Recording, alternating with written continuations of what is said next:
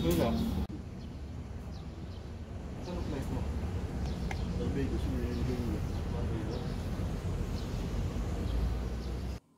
everyone, this is Mary, Pinay Viajera, and for today's episode, I'm gonna share to you some tips a day before and on the day of your pre-employment medical examination. Help med Tricks edition. Just keep on watching.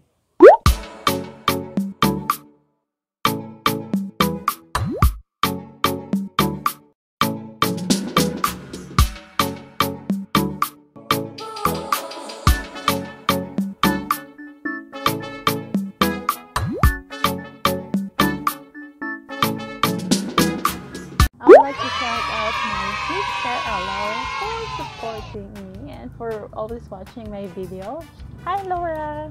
Love you! Shout out to Kabos the Blogger, Boy Pobre Special from BSP Camp Lahug, to my OFW supporter from New Zealand, Bisdak Tasho. Shout out to Nolan Gomez, to Marley Dumino, to CK GTRRZ, to Balong from Pampanga, Hi, thanks for watching.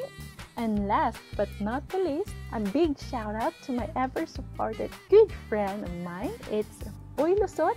His channel is Like What Cherong Gala.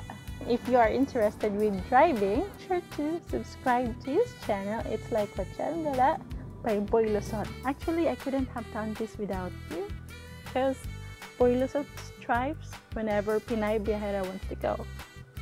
Thank you for your support. I really appreciate it. But before we move on to our tips, if you are new to my channel, please subscribe and click that notification bell beside so you won't miss any of my future videos. So you can be part of my little YouTube family too.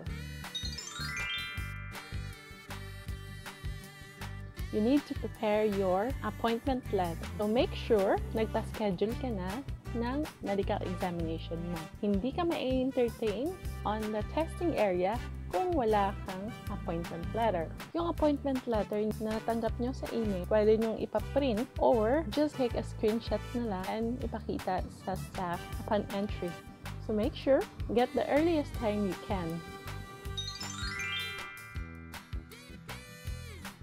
Prepare a copy of your LOE or letter of employment. Also, your passport and your Siemens book or serve. So have at least one copy of that. Just prepare it a day before your medical examination para hindi na kayo maghahanap on your on the day of your exam.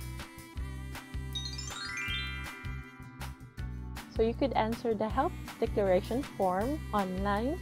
So click nyo lang yung link na included sa appointment letter ninyo on letter B and you can answer that a day before or on the day of your medical examination.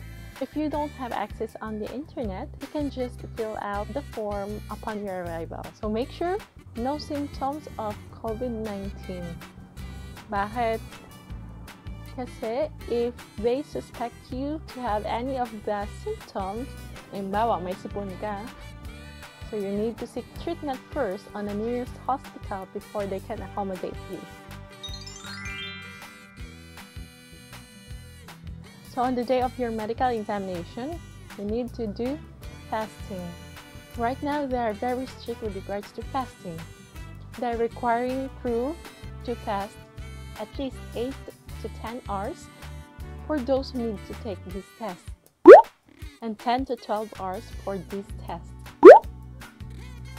So kung kailangan nyo mag-fast ng 10 to 12 hours, I will advise you can take your last meal at 9 p.m. and do not take anything that includes water. Bawal uminom ng tubig o kumain ng kahit ano mula 9 p.m. hanggang makuhanan kayo ng dugo. That is very important to get an accurate result on your examination.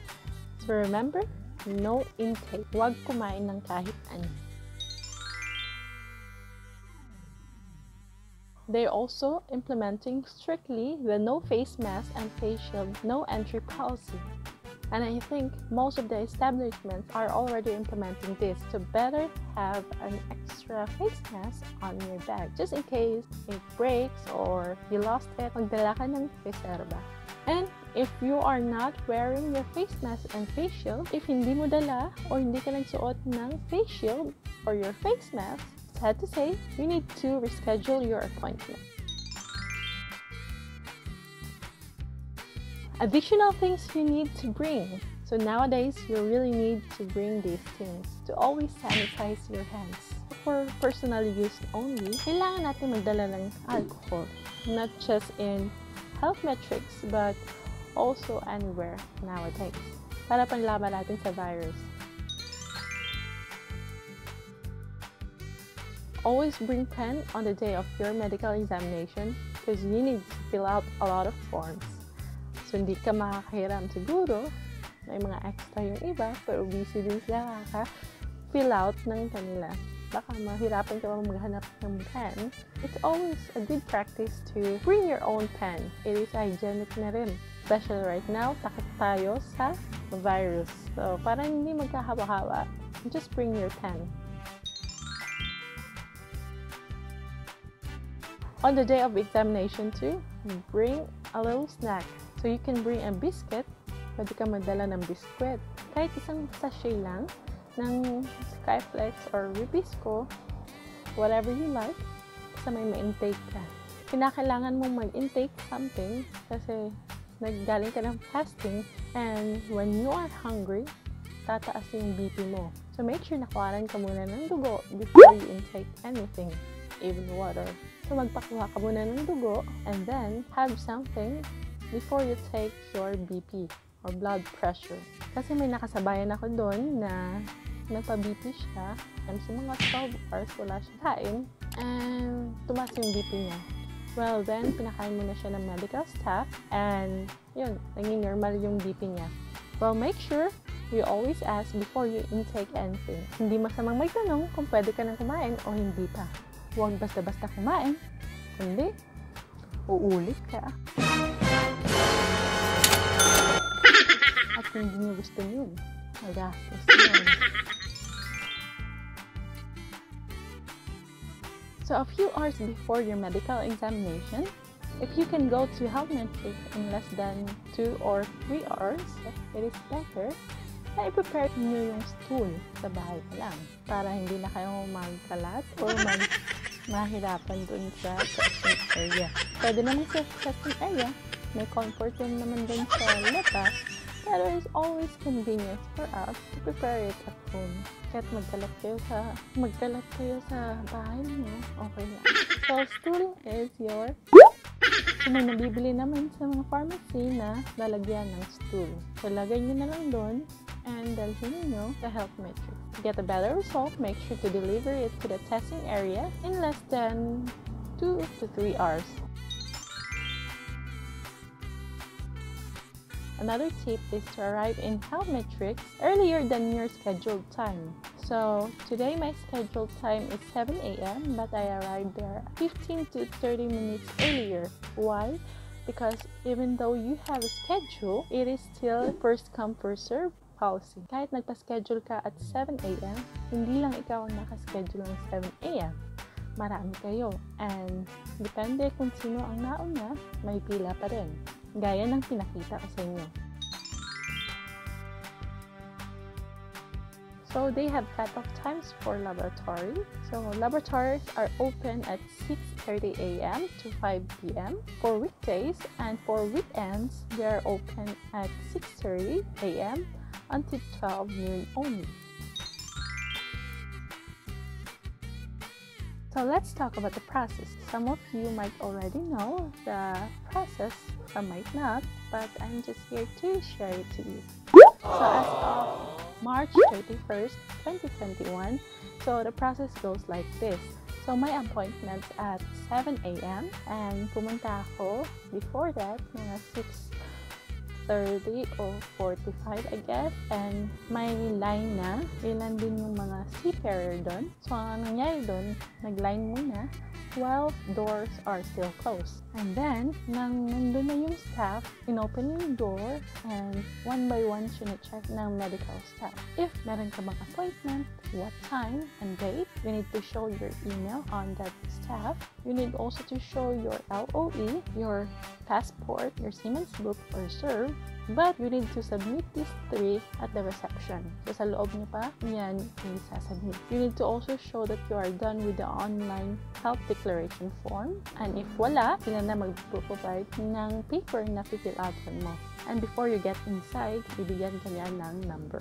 So, pag nakapasok ka na, diretso ka lang sa upuan at tatawagin yung number mo ng receptionist. Once your number is called, ibigay mo lang yung number mo and your requirements, which is the LOA, letter of employment, your serve, and passport.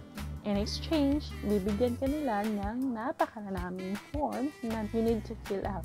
If matagal mo nang ginagawa ito, madali na lang para sa iyo. Pero if you are first timer, so ma-overwhelm ka sa dami ng form na fill upan mo. They also need to capture you a photo and may pipirmahan ka electronically. After that, proceed to different medical examination. Mapa-extra ka na kagad ng dugo para makainom ka na ng water, which is kailangan mo rin for your urine sample. By that time, you also need to pass your stool. Kailangan nyo nang ipasa yung stool niyo.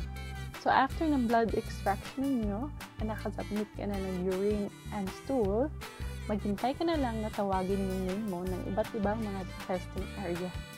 Like audiometry, optometry, your physical examination, at iba. But remember, sa dental and vital signs, you need to submit your paper bago ka tawagin baka maghintay ka na maghintay doon sa dental and gugulat ka bakit hindi ka pa tinatawag. So, submit your paper first. Meron nakalagay doon na for dental, knock on their door, submit your paper, and wait na tawagin ka. Also, for vital signs, lumapit lang kayo sa nurses dun sa middle. So, i-submit niyo yung paper niyo and they will check your weight, height, your BMI, and also your blood pressure. So, kung sobrang gutom ka na, something before they get your blood pressure. Kung hindi, tataas yung blood pressure mo. So, after that, wala nang step by step kung alin test ang mauuna. So, kailangan mo na lang maghintay doon na tawagin ka. Yung audiometry, iti-test doon kung okay ba yung pandinig mo. Tataas mo lang yung kamay mo kung aling side mo narinig yung sounds na pinapakinig sa'yo. Sa optometry naman, ito-test kung kaya mo pa bang magbasa ng malayuan. Kung gaano kalabo o kalinaw yung mata mo. So, tatakpan yung left, magbabasa ka. And tatakpan ng right, magbabasa ka ulit. So, dati, nang magpa-medical ako, yung colorblind test nila, nasa booklet lang. Iti-trace mo lang yung number and you also say it at the same time. But right now, it's uh, ding-ding to ding-ding. So, nakasandal ako sa dingding and you need to read the number or the colorblind test on the screen. Nasa monitor na, but nasa dulo ng room. So, nasa dingding na. So, maghintay ka na lang na tawagin. Alalahanin nyo, iba't iba ang position natin. At hindi lahat ng posisyon ay magkakapareho yung test na kinuha natin. Aside sa mga nabanggit ko, meron pa mga special test ang ibang position. Like for my position, I am not required to have stool test. So, hindi ko kailangan ipasa yung stool ko. So, hindi ko kailangan magbit-bit nito. So, maybe yung mga F&B department or yung mga food handling department, yun yung mga nire-require ng stool. Once tapos na kayo sa lahat ng test, bumalik kayo sa reception at ibigay niyo yung paper na puno ng different medical examination with signatures. Then lastly, bibigyan nila kayo ng stab containing um, their website, some instruction kung paano nyo i-open yung medical result nyo online, and also kung may kailangan kayong i-submit. For example, your dental, ipalinis kayo sa labas, hindi kayo nagpalinis sa loob because we know that it's a little bit, mm-hmm, you know what I mean? Kailangan nyo yung i-submit so hindi kayo makakapunta basta-basta. You need to have another appointment for that bago kayo papapasukin. And oops, there's more. Huwag mo na mag-enjoy. Huwag mo na kakain ng sobra-sobra. Yung mga bawal, minus-minus muna. Okay, kumain ng konti, pero menos muna. At baka hindi pa clear. Hintayin mo na ang tamang salitang ito na mag-appear sa papers nyo. Bago kayo kumain ng masasarap at uminom ng paborito ninyong inumin. Thank you guys so much for watching. This is your Pinay Viajera. Don't forget to subscribe to my channel, like, and comment down below what you think um, mga tips na kailangan pang gawin on the day of your medical examination. Maybe I skip something, so if may dagdag pa kayo, just comment down below. And if gusto nyo ma-shoutout sa next video ko, just comment down below. Thank you guys so much for watching. As always, adios!